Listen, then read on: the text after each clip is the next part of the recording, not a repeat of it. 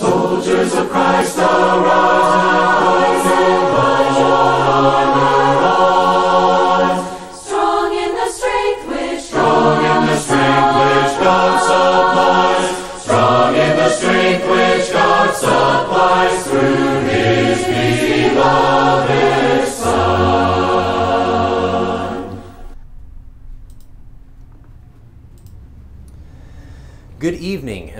to the Christian Report.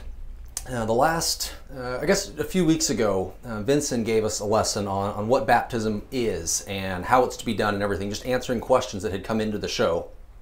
And then following that up, we had Matt giving us a lesson on um, the, the thief on the cross and how that is not a good biblical objection to baptism being necessary for the forgiveness of our sins, for salvation, etc. And he really did a great job just putting that argument to rest. Um, so I'd refer you back to that if that is something that interests you.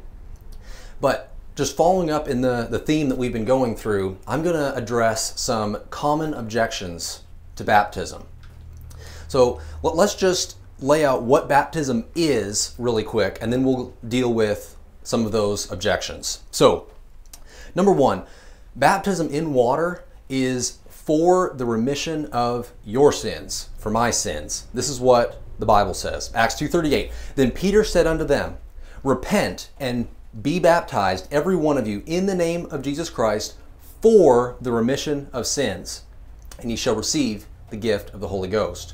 So you see, Peter is very clear. If you want the remission of sins, you need to be baptized in the name of Jesus Christ. If you have not done that, then you you don't have the forgiveness of your sins. You don't have the remission of your sins. You're still in your sins. Now, if you don't like that, if you don't agree with that, we'll take it up with the Bible. I have my personal cell phone number here that I would love to talk to you about this. This has eternal consequences. But let's continue. Acts 22 16. And now, why tarriest thou? Ananias said to Saul, who would become Paul, Arise and be baptized and wash away thy sins, calling on the name of the Lord. It's clear. If you want the remission of sins, you need to be baptized in water. Okay, it's also for the reason of putting on Christ. Galatians 3:27 For as many of you as have been baptized into Christ have put on Christ. Can you be saved if you don't have Christ? What about Colossians 2? Colossians 2 starting in verse 11. In whom also ye are circumcised with the circumcision made without hands, in putting off the body of the sins of the flesh by the circumcision of Christ. This goes back to the remission of sins part. But look at verse 12. Buried with him in baptism, wherein also ye are risen with him through the faith of the operation of God, who hath raised him from the dead. Can you be saved if you're not raised with Christ? Verse 13, and you, being dead in your sins, and the uncircumcision of your flesh, hath he quickened together with him, having forgiven you all trespasses. And finally, last point we'll look at just real quick. Being baptized in water is not only for the remission of, sin, of your sins, it's not only for putting on Christ, or for necessity for being raised with him. But ultimately, the Bible comes out clearly and says, baptism now saves you. 1 Peter 3:21. The like figure whereunto even baptism doth also now save us. Not the putting away of the filth of the flesh. It's not just taking a bath or getting wet, but it's the answer of a good conscience towards God by the resurrection of Jesus Christ. Why is it a good why does it give us an answer of a good conscience towards God? Well, how can you have a good conscience towards God if you don't have the remission of your sins? You see, you may have what you believe is a good conscience towards God if you've maybe said the sinner's prayer like you've been told or something of that sort. But that is a seared conscience, not one that has correctly appealed to God for a clear conscience. And Jesus himself said in Mark 16 16, He that believeth and is baptized shall be saved. Do you believe Jesus? Or are you going to take the word of your pastor or priest or whoever and allow you to not obey the clear commands that were given to you. So, let's look at some common objections to baptism. The first one is is this. In Acts 2:38 that we just read, that where it says for the remission of, your sins, the argument is that that should be translated because of the remission of your sins. It just happened by chance. I had a a video pop up in my suggestion feed on YouTube today from a few Baptists. I listened to it and this argument actually came up in that in their argument against baptism. But Acts 2:38, let me read this and I'm going to plug in their supposed interpretation, translation of that for being because of. So Acts 2:38. Then Peter said unto them, Repent and be baptized, every one of you, in the name of Jesus Christ, for or because of the remission of sins, and ye shall receive the gift of the Holy Ghost. Now, there's a few problems with that. Well, at least a few. We're just going to look at three today. First one translation. That Greek word that is translated for here is the Greek word eis, E I S, eis. If you look in your concordance, bring out your Strongs or Blue Letter Bible or whatever, you can search and find that that Greek um, word, eis, is found 1,774 times in your New Testament. This word, if you look in your, in your King James Version, your New King James, nearly any translation out there, I think the ESV may have messed it up a little bit, but this Greek word eis, of those 1,774 times, not once is it translated because of. Yet, for some reason, we're supposed to believe this is the exception to the rule. This is a classic case of reading your doctrine into the text rather than letting the text inform your doctrine. Point number two, and this relates to the translation issue, but what about consistency? Okay, this here, this is the, the Greek phrase that you have up here for the remission of sins. It's the same exact same Greek um, phrase as you have here in Matthew 26, 28. So let's read that. Matthew 26, 28. For this is my blood of the New Testament, Jesus says, which is shed for many for the remission of sins. Now, if this Greek phrase should, if it, if it, it should, if it means because of the remission of sins, like we're supposed to believe in Acts 2.38, then for consistency's sake, why wouldn't the same exact Greek phrase mean because of in this phrase? So let me plug that in down here. For this is my blood of the New Testament, Jesus says, which is shed for many because of the remission of sins. Are you going to sign off on that? Jesus did not have to die because you already had your forgiveness of sins. It just doesn't work. Point number three just the text itself. The argument is trying to get around baptism being, nece- being necessary. But notice in Acts 2:38, it's repentance and ba- being baptized, baptism that are required. So let's plug that in, just putting baptism off on the back corner. Let's let's look at repentance and see how it works in this train of thought. Repent because of the remission of sins. You need to say sorry and have a change of mind for something that's already changed, that you've already been forgiven for. But it gets worse. Repent because of, you already have, ye shall receive the gift of the Holy Ghost. Do you understand the issue there?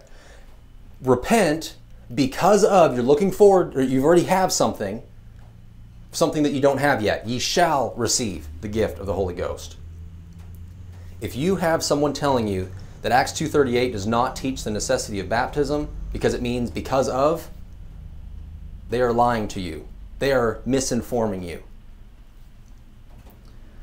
Common objections to baptism. 1 corinthians 117 the Apostle Paul says, Christ sent me not to baptize, but to preach the gospel. So the argument goes, see, he's not, he wasn't sent to baptize, it's not important, it's not part of the gospel.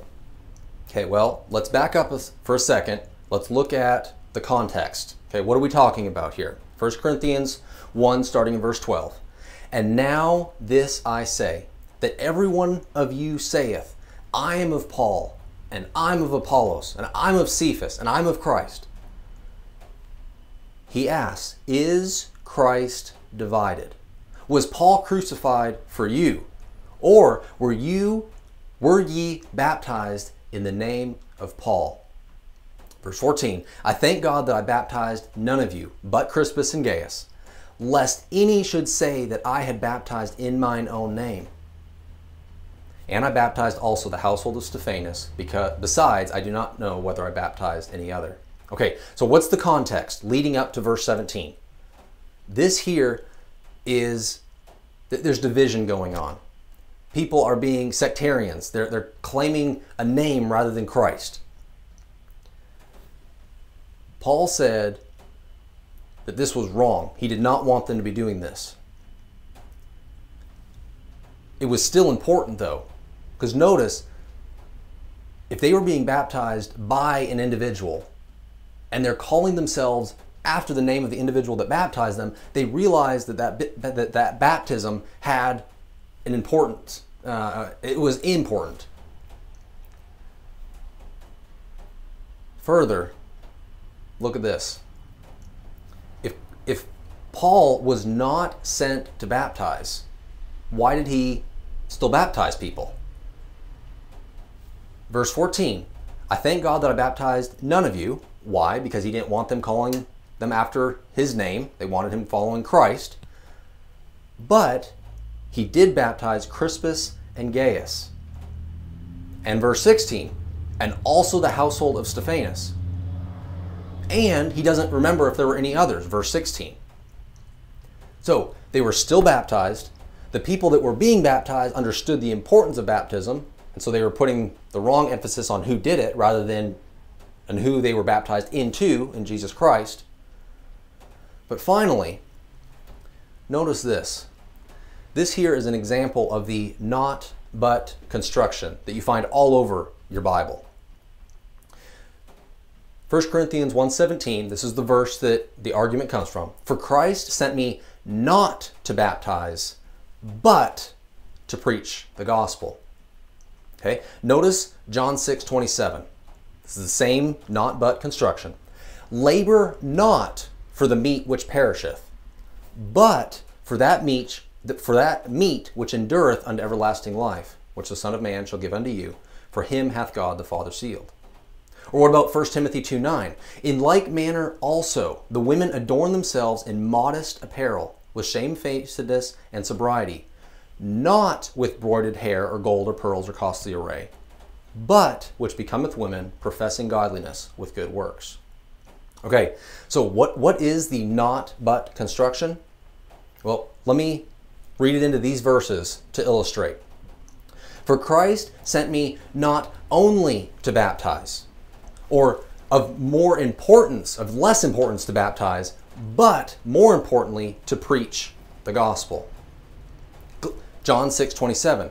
Labor not only for the meat which perisheth, but more importantly for that meat which endureth unto everlasting life. 1 Timothy 2 9, not with broided hair, or not only with braided hair or gold or pearls or costly array, but more importantly with modest apparel, professing godliness with good works. You see, if you're not, if you're going to apply this, uh, this, this not but construction consistently throughout the scriptures, and you're going to say that 1 Corinthians 1.17 means that baptism was not to be done, that Paul that it's not part of the gospel, then John 6.27 tells you not to work for the meat which perisheth. You better stop working to provide for you and your family. 1 Timothy 2.9, women, you better not be braiding your hair or hopefully hopefully you don't have gold in your in your ring.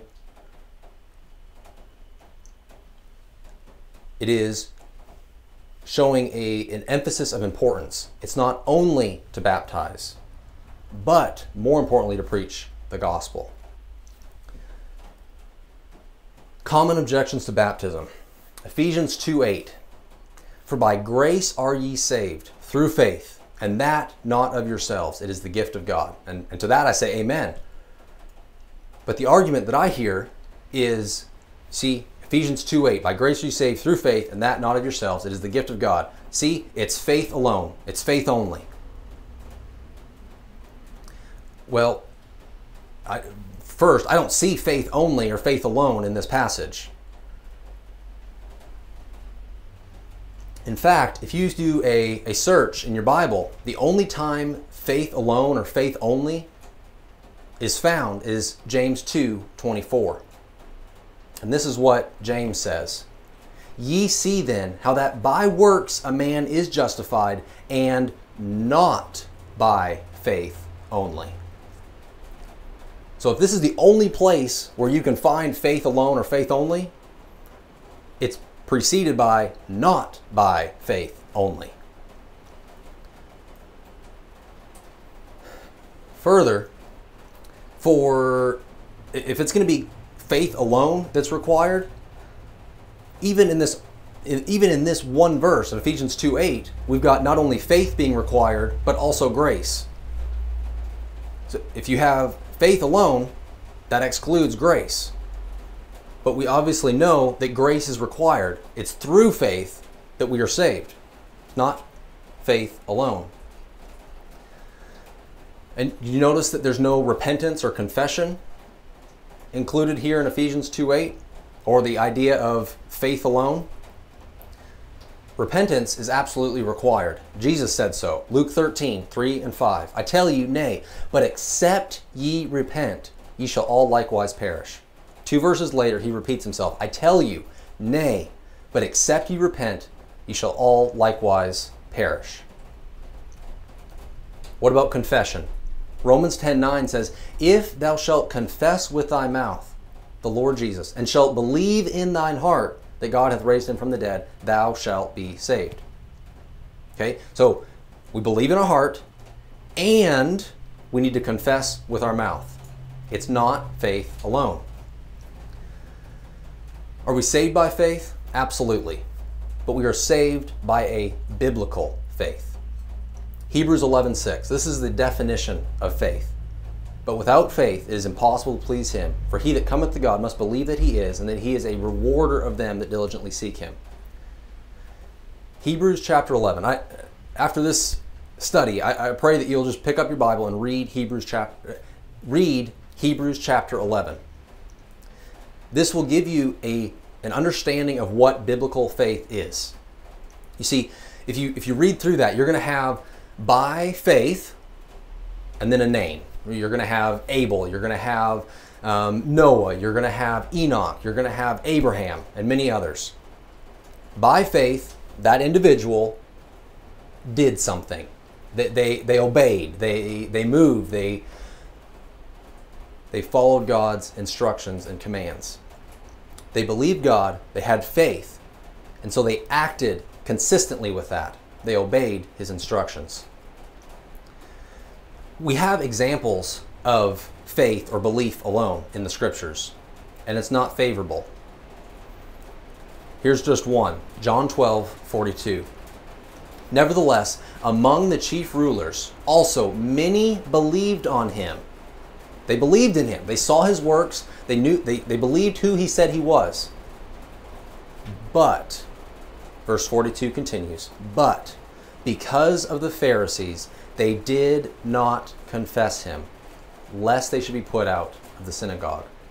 Their faith did them no good because they did not have a biblical faith.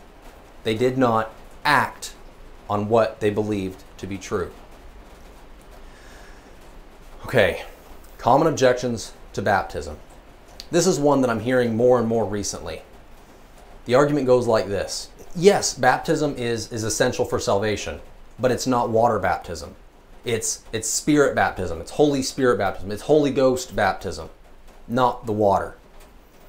Well, first off, I'd say please prove it because that is a new interpretation that has just recently come uh, come about. If you go back just to the, the Reformation, read John Calvin or Martin Luther, any of those ones, they all see these passages as water baptism. They explain them away for different reasons, but they don't say that they're spirit baptism.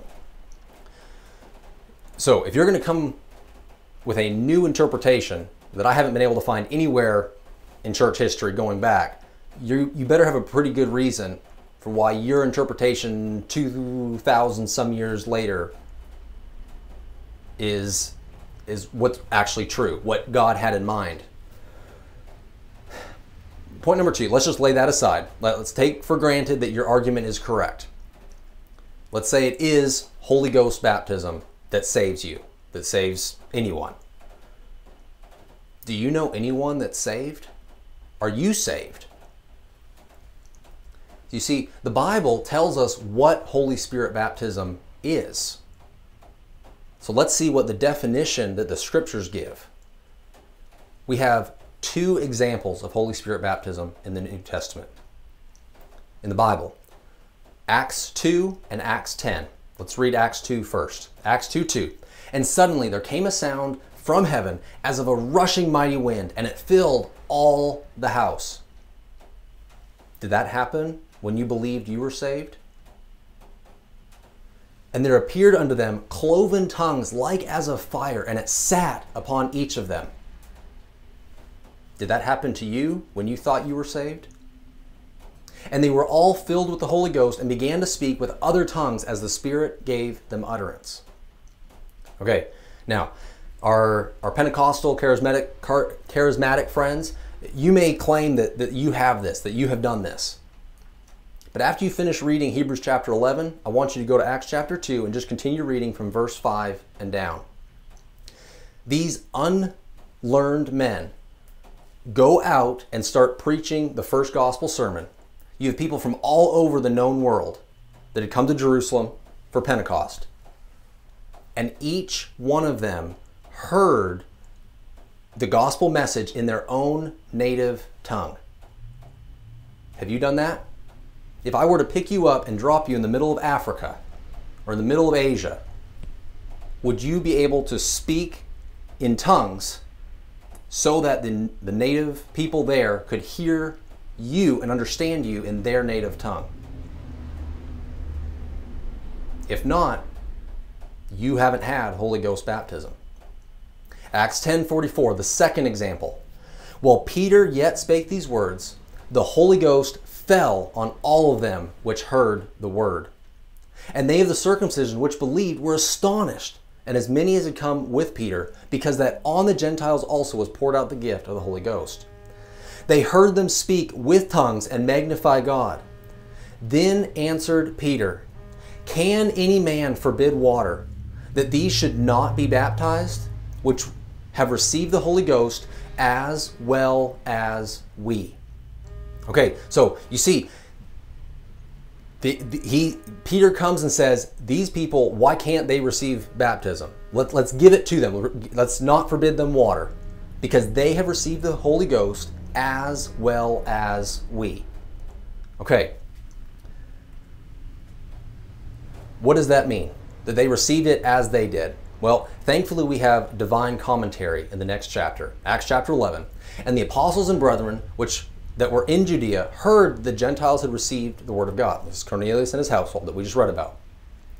But some of the circumcision contended with him. Verse 2. So Peter is defending and explaining what happened. And picking up in verse 15, he said this And as I began to speak, the Holy Ghost fell on them as on us at the beginning. At the beginning being Acts chapter 2 that we read first. Then remembered I the word of the Lord, how that he had said, John indeed baptized with water, but ye shall be baptized with the Holy Ghost. Peter is saying that what they got in Acts 2 is what happened in Acts chapter 10. For as much then as God gave them the gift, like he did unto us who believed on Lord Jesus Christ, what was I that I could withstand God? And so he baptized them. When they heard these things, they held their peace and glorified God, saying, Then hath God also to the Gentiles granted repentance unto life.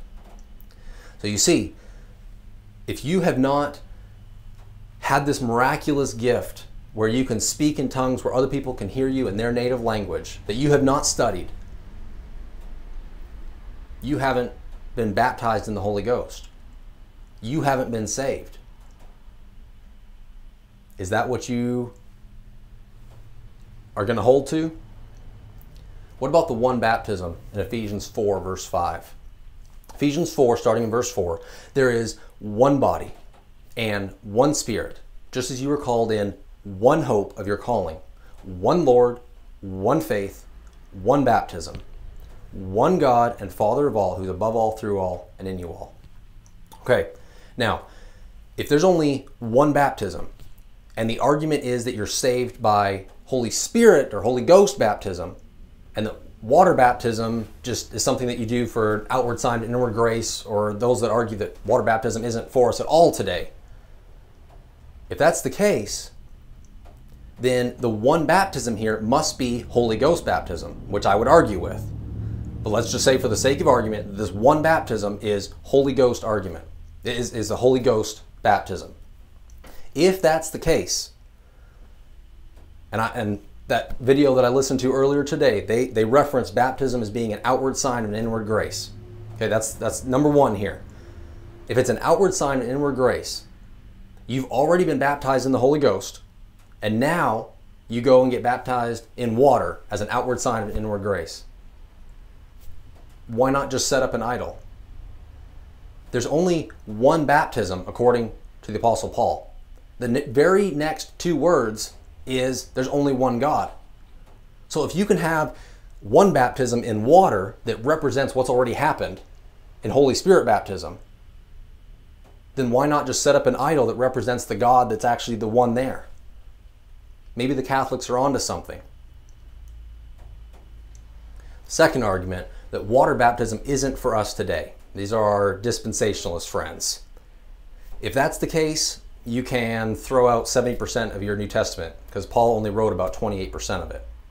But besides that, even if that's the case, Paul still baptized people in water. So if Paul did that, under the inspiration of the Holy Spirit, the Holy Ghost, then again, if the one baptism is only, or if that one baptism is Holy Ghost baptism, you still go ahead and set up an idol to represent the one God. This is not a good objection. We're running out of time the argument of it doesn't say baptism in this text, therefore it's not required. Okay, John 3:16, Romans 10:9, these are common verses um, that this argument is used with. So let's just John 3:16. For God so loved the world that he gave his only begotten son, that whosoever believeth in him should not perish but have everlasting life. See, it doesn't say baptism, it's not required. Romans 10:9 that if thou shalt confess with thy mouth the Lord Jesus and shalt believe in thine heart that God hath raised him from the dead, thou shalt be saved. Okay, see, just confess with your mouth and believe. That's all. It doesn't say baptism. Well, those two verses contradict themselves if that's what you're arguing because John 3:16 says only to believe, but Romans 10:9 says you must confess with your mouth and believe. So this doesn't seem to be a good argument. If I if I was asked by someone, uh, "Are you married?" and I've said, "Yes, yes, I'm a husband," and someone else asked me, uh, "Do you do you have any kids?" Uh, "Yes, I'm a father." And someone says, "Is that your dad?" I said, "Yes, I'm a son." Did I lie to any of those individuals? No, of course not. You have to take the whole of who I am and what I've said. Just because I only told one person, if, I, if just because I told one person that I'm I'm a husband, and I didn't say I'm also a father, I'm also a son, doesn't make the phrase that I'm a husband untrue, but it also doesn't get rid of all the other roles that I have. The same way, we must take the whole of Scripture. Just take, take a screenshot of this and study these passages.